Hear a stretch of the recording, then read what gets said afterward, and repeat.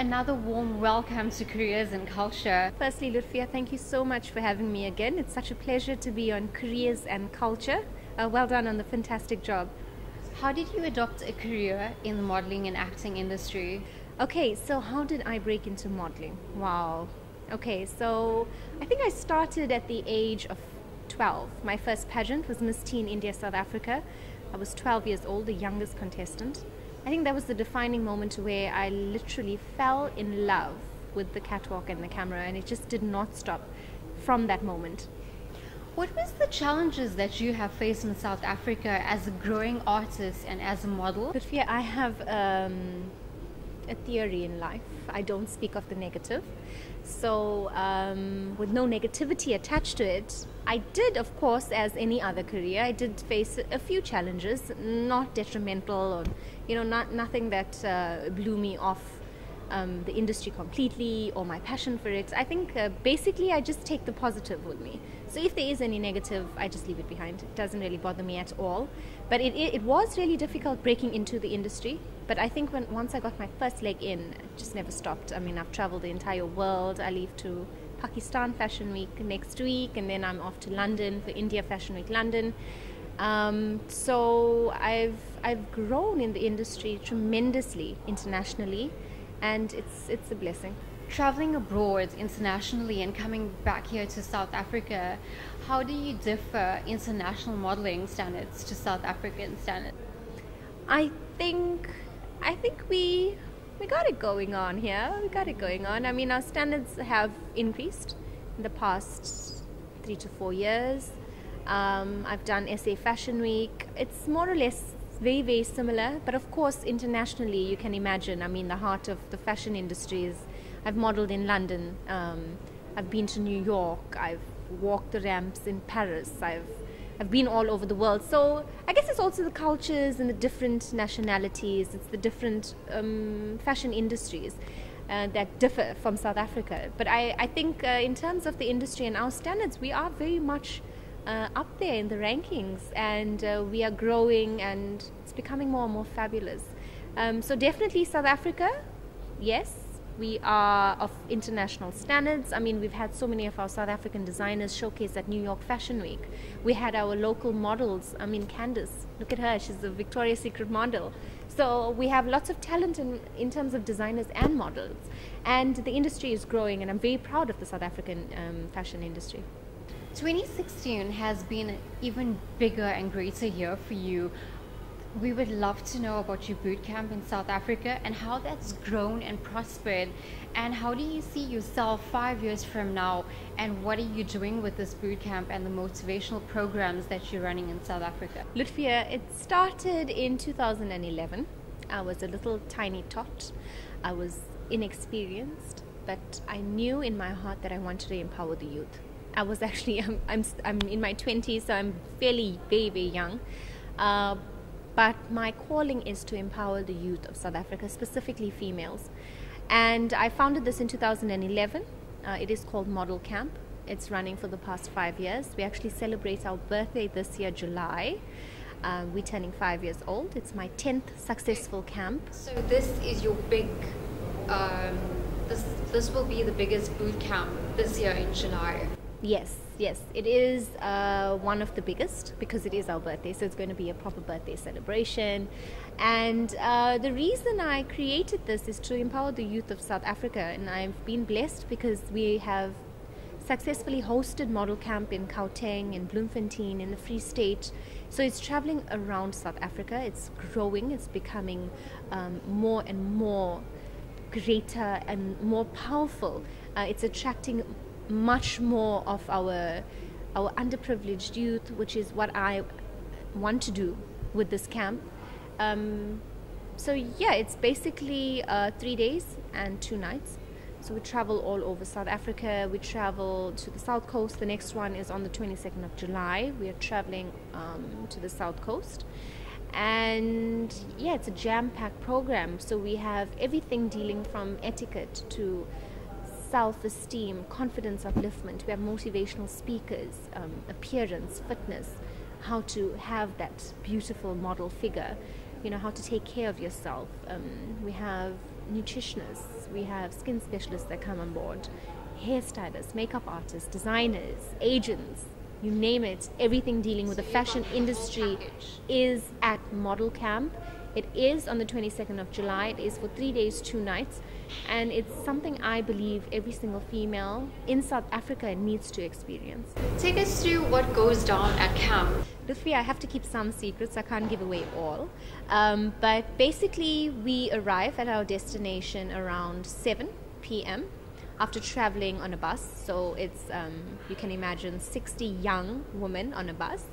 Um, so we arrive at 7 p.m. and I am an academic. I have my first level CTA honors in accounting. So I'm very much into empowering the youth in terms of education. So the first night is very academic, it's very intellectual. So we have debates, we have discussions about current South African issues. Um, we have a whole lot of uh, team building and it's very very educational. So the first night is very very much intellectual. And remember i mean if you look at our pageants you can't just be a beautiful face. You have to be smart. Um, if you're not smart in any industry you know you won't be successful. So that's what we try to instill in the youth in uh, our attendees and that's the Friday night. So the Saturday is absolutely jam packed. I mean, it's a full day. Um, our girls don't sleep at all, so they're running like on no sleep for three days and two nights. Uh, this on the Saturday we have a pageant at the end of the um, of the day where whatever we taught them during the day. They have to now bring it all together and display it at the pageant.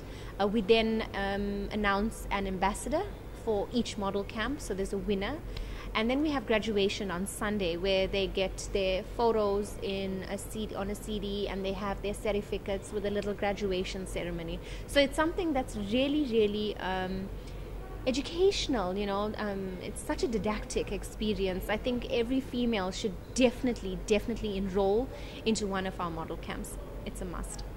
What motivates Neetasha Singh on a daily basis, and how do you keep yourself so prim and proper as a model and actress?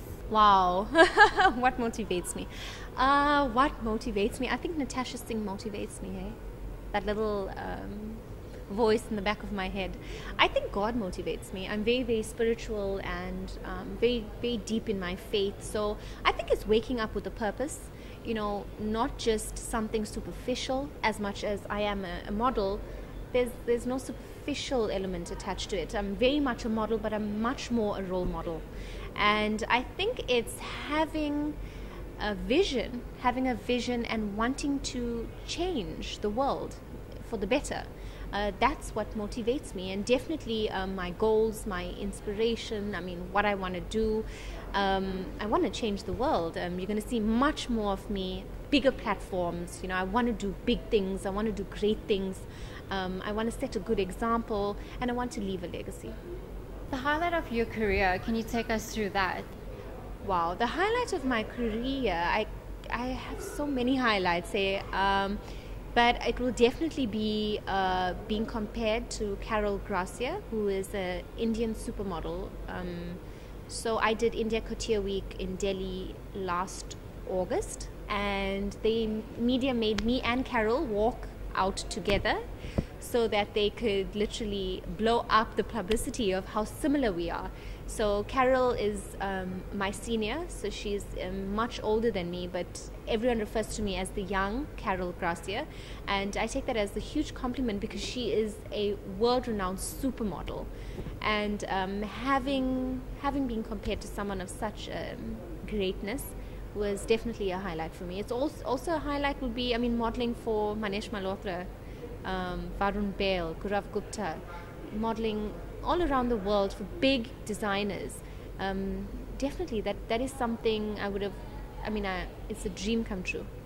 If you had to give our audience out there successful motivational tips, what would you say to them? What would you say to South African youth out there? Lutfi, I, I am a young uh, businesswoman, so sometimes I don't get taken seriously because of my age. Um, but I think if you are firm in your belief and if you are strict with your vision, um, they have no other option but to take you seriously. So I think it's definitely stick to what you know. Um, don't be scared to uh, venture into something bigger. Remember, every single um, expert was once an amateur. So don't be scared. Keep your faith. You know, I'm really, really, really staunch with positive energy, and uh, what you give out is what you attract, the law of attraction. So definitely stay positive in everything that you do, regardless of the negativity that may surround you. Remember, this industry, you're going to get haters by the dozen. I've experienced it, and I would like to send you all kisses, for it has um, definitely strengthened me, and my skin is absolutely thick. Um, I tell everyone I live in a little bubble. Uh, nobody, no one is my shrine. No one enters my shrine. So live find your bubble find your safe place stay in there even though there's different forces outside of you. Don't let it get to you. For every single barking dog if you're going to stop and stone them you're going to definitely come off your path. So stay on your path regardless of the other elements that may come your way. And um, just believe in yourself. I believe that if you believe if you believe it if you believe it you can achieve it you can definitely achieve it. You just have to believe it.